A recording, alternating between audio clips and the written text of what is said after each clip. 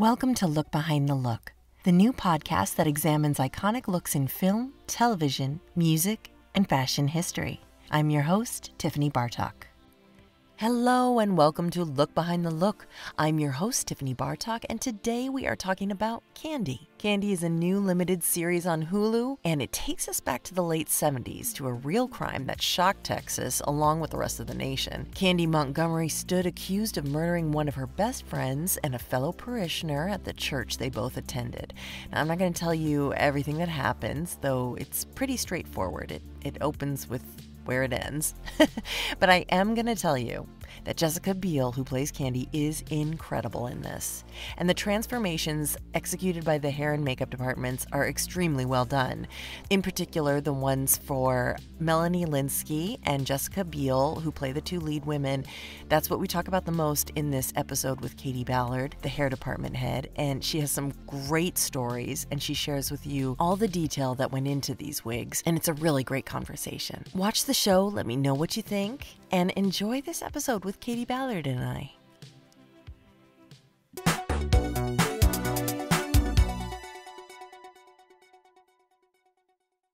He's married. I know, but Don't I deserve more? Candy, we were so close and I've just been so busy. She knows.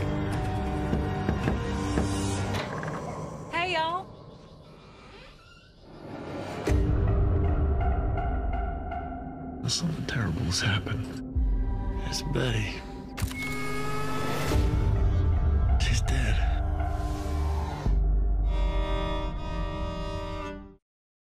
Hi, Katie. How are you? I am um, so happy you're on the show, and I I see that you're in a trailer here. Is that where you are? I am Can you tell us Yes. what show you're working on right now? Or? currently working on it's working under the title of friend of the family uh, but it's with one of our producers from candy actually oh two of our producers from candy Nick Antosca and uh, Alex Hedlund are are producing this one so i had such a good time on candy that i just asked them if i could keep stay along for the ride Can I stay? Can I stay? yeah, I would too. These are people to definitely hit your wagon to. What a great show Candy is. I am sure you're totally excited about it because it turned out. Have you gotten a chance to see it yet? I have, yes, I, I have been lucky enough to be plugged into our our dailies where they're putting in the final cuts as they go through the network and all of that. So been keeping an eye on everything and just trying to stay up to date with what's happening with it. Fantastic. It's so good. I at first was like, oh, this story keeps being done. You know, like what's the what's the because it was Barbara Hershey the, for the first one, right? Is that right? I never mm-hmm. saw that movie. Was it like a movie of the week or something? It was a, a made for TV movie. Right. Okay. And then did you get a chance to see that one? Did you guys all have to watch it as a class assignment? I didn't, but I did watch it because I'm a nerd. Yeah. I mean, I would too. I would want to see any and all candies. Absolutely. I okay, so I I'm gonna have I'm gonna have to dig that up for sure because this is a super interesting character, as you well know. And so, can can you tell me a little bit about how you came to this project? Uh, my agent actually got wind of it in, I think in 2021, Mhm. uh, and just mentioned it to me and knew that it would be something I would be very interested in because I'm a true crime junkie. Oh, okay, good. Yeah, so it, I just heard about it, and it was something that as as it came closer, um, we just kept talking about it and crossing our fingers and hoping that it worked out. Um, and it did. I, I was on another production um, when we started prep and just jumped right onto Candy. Um, and oh my gosh, I can't. I honestly just can't say enough good about it. It's been an absolute highlight of my life and my career and everything. So. Oh, that's fantastic. So, so this is the project that was executive produced by Jessica Biel. So, it was first Elizabeth. Were you on the project when it was going to be Elisabeth Moss? And then, can you tell me anything about that that transition? I read in the trades that it was a schedule conflict, and so then Jessica came on, and and Yeah, that's how that happened. My deal closed right as the transition happened. So Mhm. initially, it, you know, when I had heard about it, it was Elisabeth Moss. Got and, it. Yeah, and then once my deal closed, I I got wind of it uh, that it had switched to Jessica. She's incredible. I mean, as you know, uh, so surprisingly amazing. I mean, I know she's such a great actress, but this character is like so interesting because she's just not what she seems in any way at all, right? Like her sexual appeal and like her desires are just shocking to me. I had, I just couldn't believe the person that we were seeing and she just did such a great job with it did did did when you were developing the look it's so not that so like how, how did you guys have conversations about about this perm was it a perm or a wig uh i mean so it's a wig um, Okay. and it it uh, the construction of it uh is a whole a whole story in itself but great then discussions um it, it was with stories that are based on, on something that happened in real life it's Mhm. always for me just doing the best we can to try to match the per, the real person because inevitably there are going to be some real life factors that you may have to work around. So i always strive for as close to perfection as we can get Mhm. because have you know maybe just a few little tweaks that we need to make. And we did do that with jessica's look just with the the overall shape and where it sat on her face and all of that. We weren't you know directly like photo matching every curl. Ah. Um we we worked towards you know getting a really strong match to candy's candy's hair but then we have to get it on jessica and make sure that it, it blends with her face. And there's so many little details when you're working with wigs to making sure that it's not just this thing sitting on top of their head. That is so- always the problem isn't it? It can look like like um it doesn't move and it's just that's when it becomes like a clown wig right? So did you try with curly wigs, what's that especially with curly wigs I- making sure that they look realistic is is a whole thing I was thinking that the whole time. I was thinking because when I had my own unfortunate perms in like sixth grade, they literally just looked like a hat, you know, and this this really moved. And I mean, I was just so surprised that it didn't you think it was funny that her hair wasn't like long and flowy or more more sexual or something, being that she has all this in her. I mean, she's it was so interesting and such a juxtaposition of who she is. When I think that there were some small some small tweaks that Jessica made to make the character her own too that kind of play Ah. I think and this is something she could speak to a little bit better than I could but but just to to bring the note up a little bit where she p- kind of played up that playfulness in Candy and all that which is what I think gave the show something really special and a good a good contrast to the dark subject matter to where there are moments that feel very uplifting Oh Um, yeah, totally. as far as as the real candy montgomery I, I think that she from what i know she was a little bit more stoic Mm. um, and and that may be part of it too but what i love about how the look came together for jessica as well is that it it really helped pull her into looking like an everyday person because she's so gorgeous I know. that you know it's like can't put can't put makeup on her or anything or anything because she's gorgeous um totally. so I, I really loved that the styles were were so just conservative texas yes.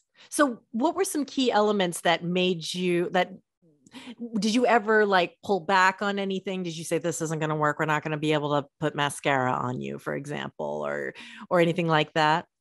that all fell into the into the makeup department um right, of course. I- yes. Mhm. we- did for hair um luckily because we were working with wigs have full creative freedom which was i what is what i love so much about them but Mm. with me there were things like that and that's what jessica came in asking for too is that she didn't want to wear hardly any makeup at all yeah. um and she's she's someone who really is all there for the character not clinging to her own vanity or anything like that like she's all in to to make the character come to life in the most gritty and real way possible Except um, for when she was playing volleyball, or was it volleyball? I was like, um, you're gonna bring this whole look back right now.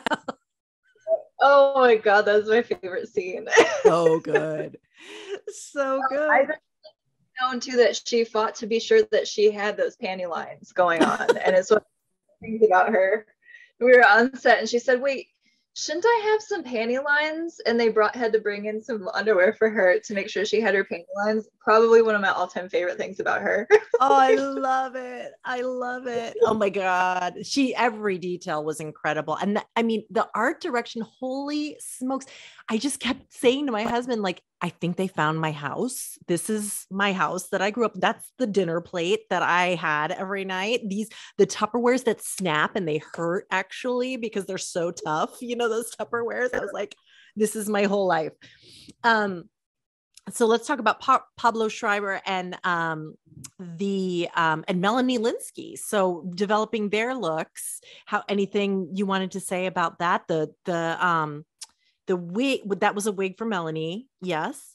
Mm-hmm. And I, I looked up the original person, exact match, amazing. But again, the movement was all there, and she really looked like she lived in this hair, and nothing looked costumey at all. I was so impressed.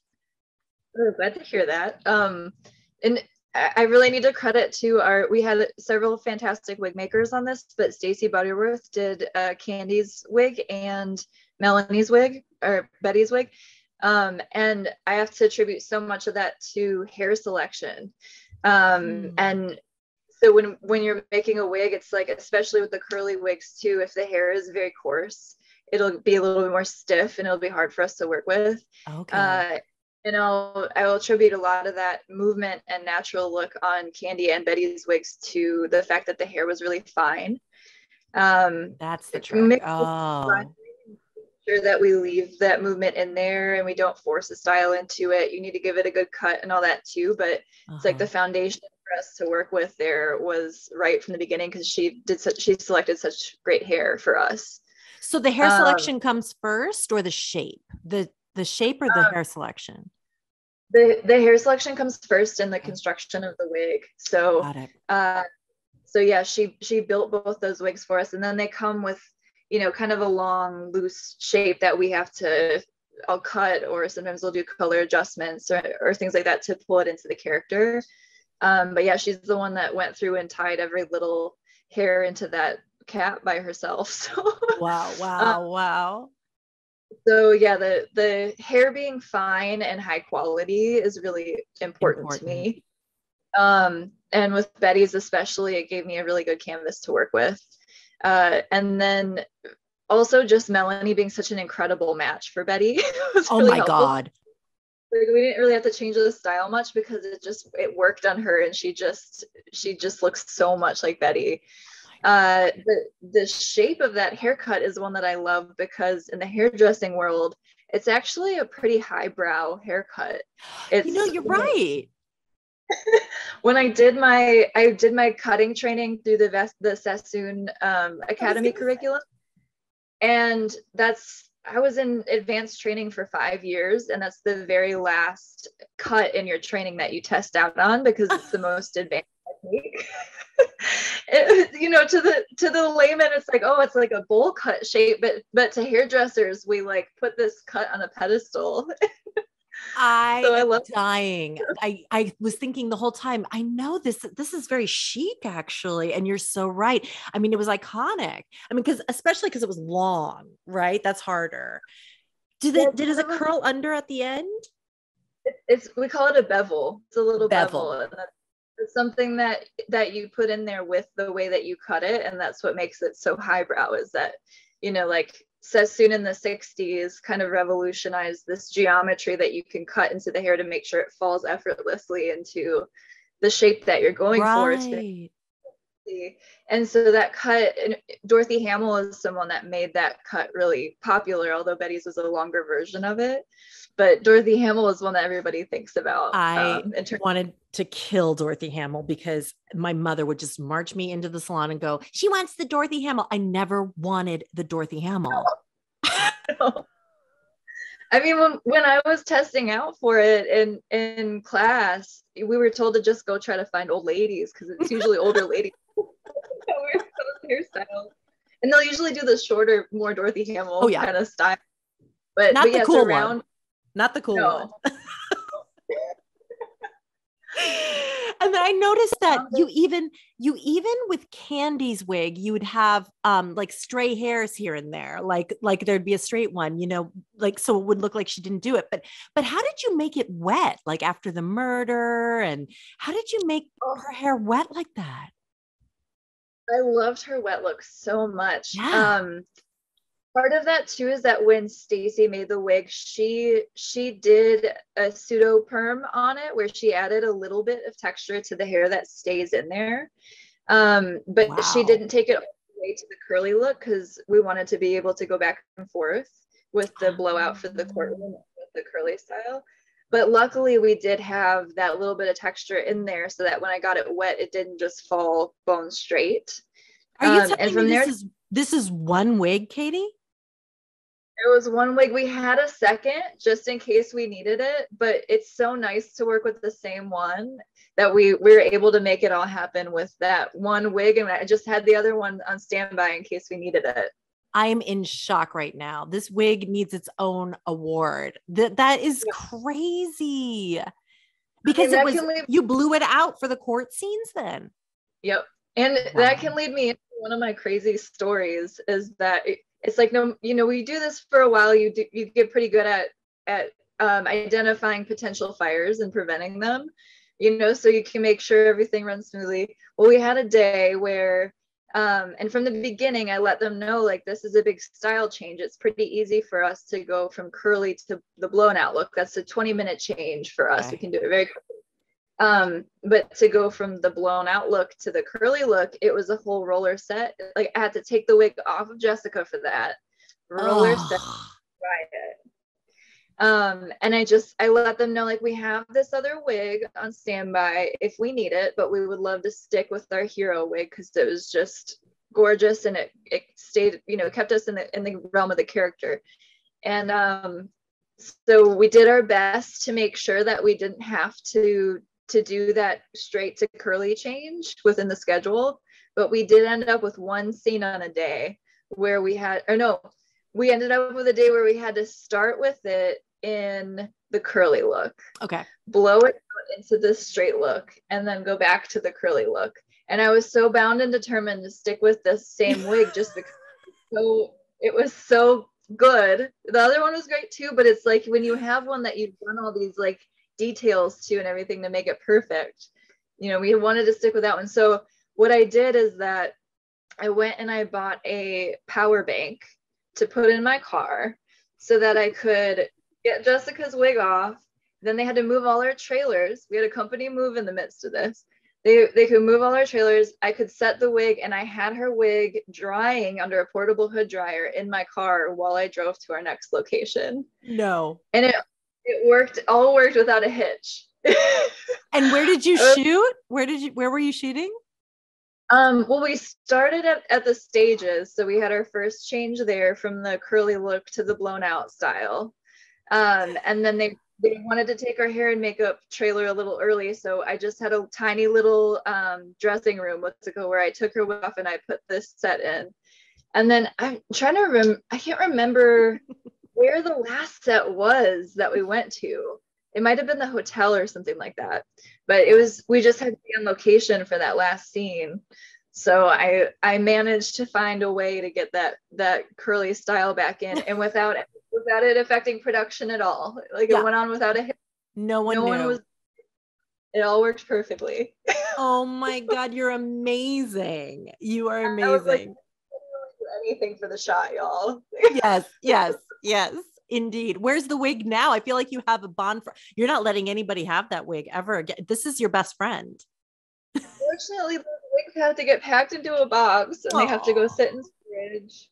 Um, Jessica honestly wanted to keep it. It- I was like, I feel I'm so sure. bad packing because it became such a part of her. Aw. I was like, I wish you, I want you to keep it, but yeah, they have to keep it just in case we need to do reshoots or or anything like that. Of Hopefully, course. someday it can come storage and it can have or something.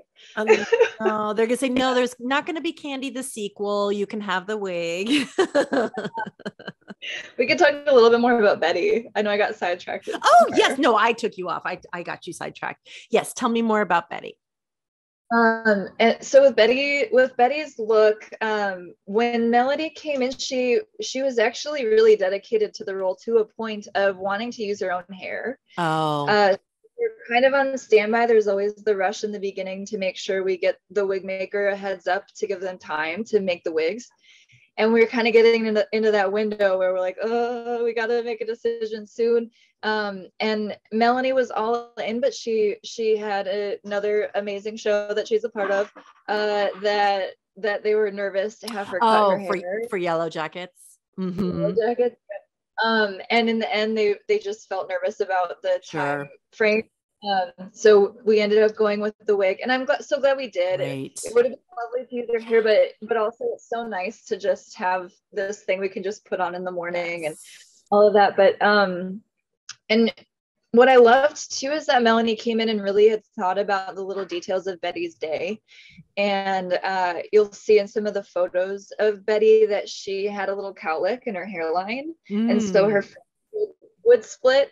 And that was something we, we all really came in wanting to keep. Cool. Um, but we thought about times at which maybe she had taken the time to blow that out in the morning. Uh, and we would kind of work it in where you'll see, like in some of the school scenes, that cowlick Yeah. is blown out her full fringe. But then towards the end of the day, as she's home, if she's been cleaning Yeah. or something like that, we would kind of make that cowlick start to creep back in. No, I'm Uh, I'm not I'm not kidding that I noticed this. I noticed this.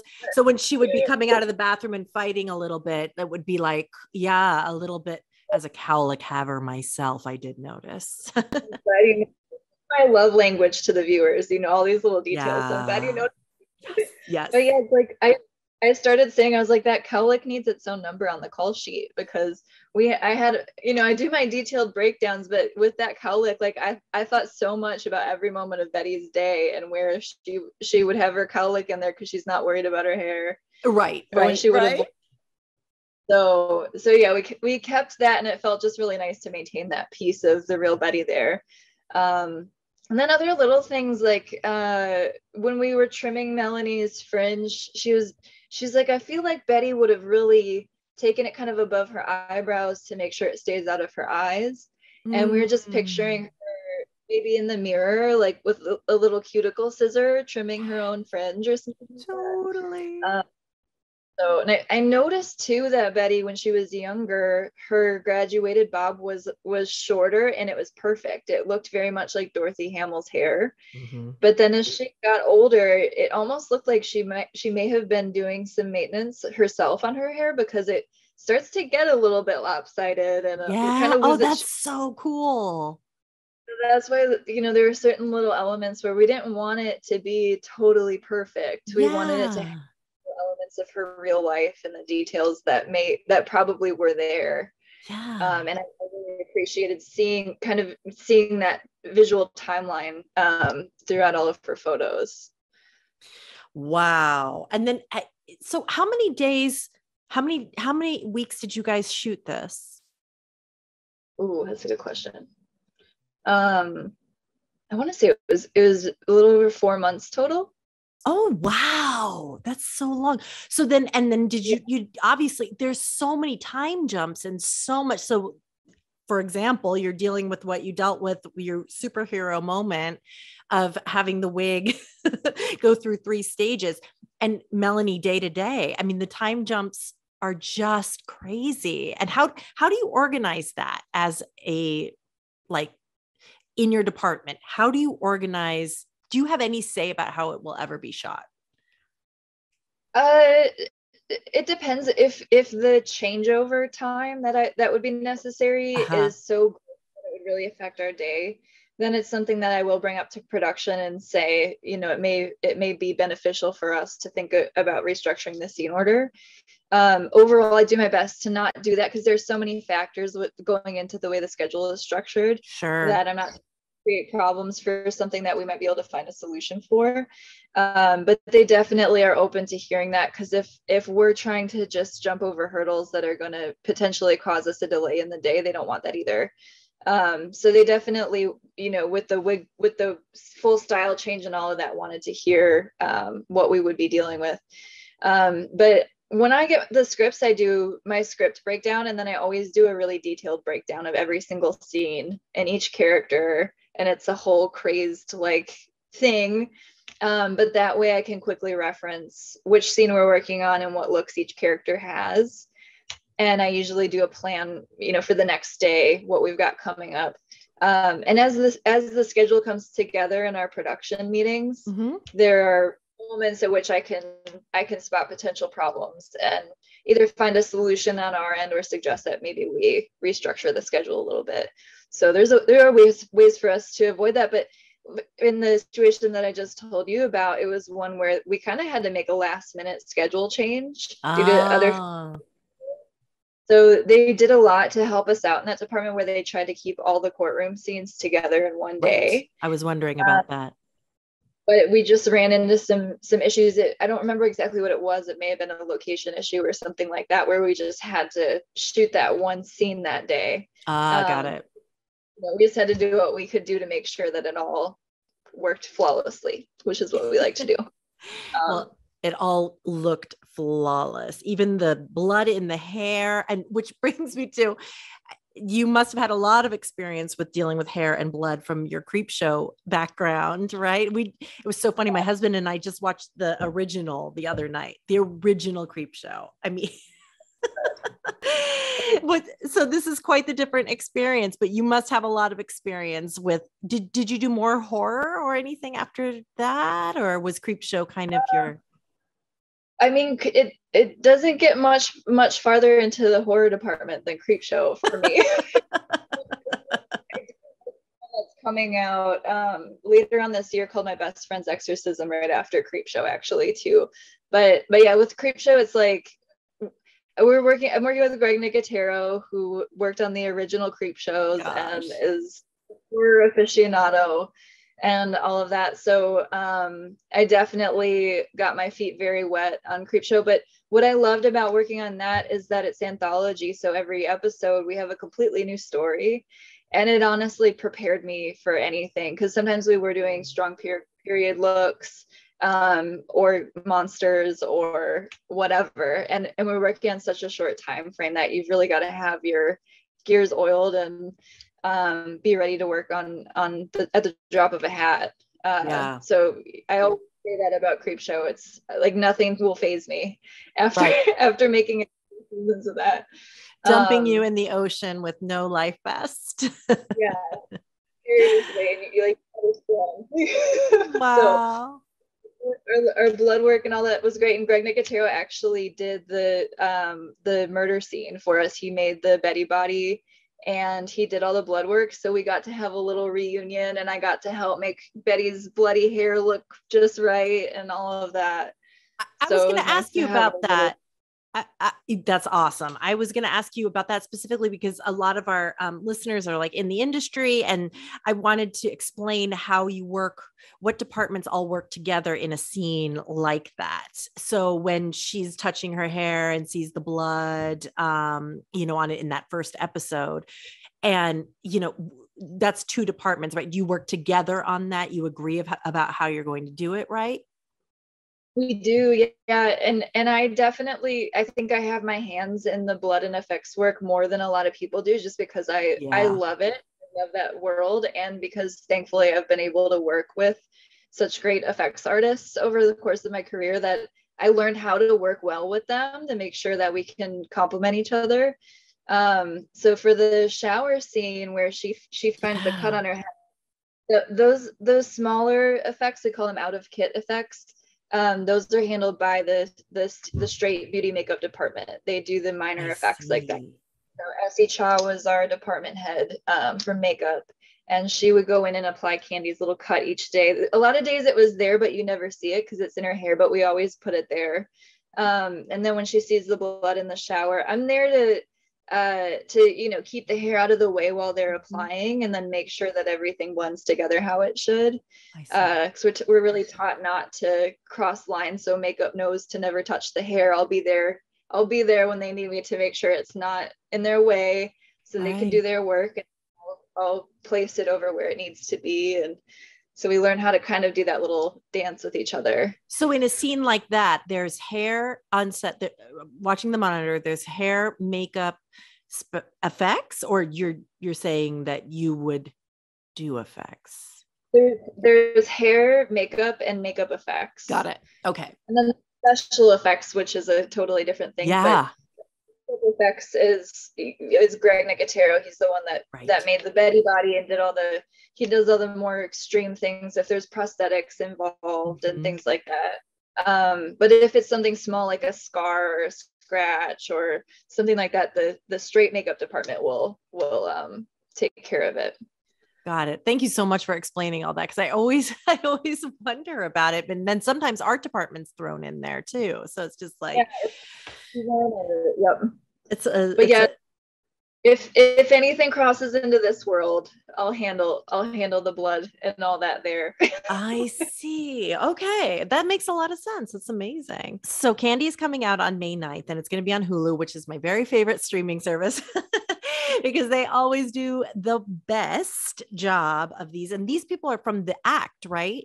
Which um, this is the same team from the act, which was brilliant. Amazing. yeah the producers are from the act yep nick Hedlund or uh, nick Antosca and alex Hedlund uh were and then you're Um, working on their new their latest project right now too. It's amazing. yeah also true crime also set in the 70s and so that's part of why i wanted to jump on it too i just had such a good time i was like let's keep this train moving That's great. And we also have our, our showrunner and writer Robin Veith, and um, Michael Uppendahl was one of our producers, and he directed two of our episodes. Um, so Robin, Robin was the one that I think Robin and Michael were probably the ones that I dealt with the most on Candy. Okay. Um, honestly, I cannot speak more highly of the two of them. Uh, Robin's Rob when Robin sent me the scripts, she had I told her she had me from the tone notes because just the tone notes in the pilot, she referenced David Lynch, Ah, and I just it's, I'm just like anyone that will help me preserve that man's work somehow yes. um, I, um, so her her tone note was that the overall feel of the town should feel something like the scene where you see Laura Palmer's ceiling fan, just- yes. like that. Yes. Um, oh my gosh! And she just had me head over heels even from that moment. But when I went through the rest of the scripts, it was like it was just the perfect emotional roller coaster. You know, it was like I felt exactly what I needed to feel at every single moment, and it was just so beautifully written. Um, and then beyond that, into filming, just the way that she ran things, the way that she, her, and Michael supported us as a department Mm. Um, I- on every step of the way it was just the the ball was never dropped not once on that end so i can't speak really of of the two of them and our entire production crew It's so So- well done. And I mean, to make this woman is like obviously it, there's just something that sucks you right in and you're just riveted the whole time. She's so full of like, obviously, the big surprise that, you know, the murder, but like her personality was just so full of surprises and I I loved it. I loved it. I thought you did an amazing job. Everybody was incredible. Congratulations. thank you so much it's it was a blessing our our whole you know ad department pas everyone was really not only experienced and good at their jobs but also just at the top of their game Mm. when we could just tell that everyone showed up every single day bringing everything that they had because everyone cared so much about the project and it it brought us to a point where not only was our work strong and our days our days flowed just the way they should but also there was just this upbeat tone to the day every single day because everybody just just showed up with their a game And you know Um, when you know when you're making something that's going to be like knock it out of the park. Yeah. We could tell it was special from day one and and and that never lagged because people were tired or anything it's like that Right. that high note maintained the whole way through and i keep saying that that show is just a unicorn in that department because Mm. like i i feel like you just never see that where where there's never really a bad day like i went yeah. feeling great every single day so And you're talking about four months. So that is a, a huge accomplishment. yeah, when you find like something like that, I see why you never want to let it go. So I'm glad that you're back with them again. All right, Katie. Well, thank you so much. I know everybody's going to watch and I will put in the show notes how to watch this on Hulu and I will put how to you have an Instagram. Yes. I do. Yes, Ballard Hair Design. Great. So everybody will follow you and I can't wait to see what you do next. Thank you so much. Thanks for having me and I'm looking forward to watching with everyone. My pleasure. Look Behind the Look is a Vinyl Foot production, written by me, your host, Tiffany Bartok, produced by Jace Bartok, edited by Nicole Tucker, with art design by Kelly Riley. If you're interested in learning more, find our video version on the YouTube channel Look Behind the Look podcast. There you can see rare photos and clips from our guests. And please follow us on Twitter at LookBehindPod and Instagram at Look Behind the Look. If you like the show, please rate, review, and subscribe. And tell your friends and spread the word. You can subscribe to us on iTunes or any podcatcher of your choice. Thanks for listening to Look Behind the Look.